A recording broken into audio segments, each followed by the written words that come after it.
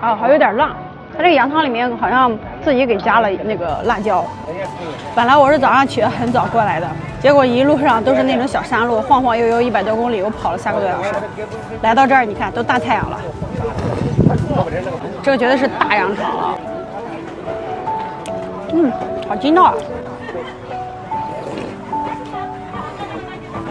哎呀妈，本身还有一丢丢凉，喝完之后全身都通透起来了。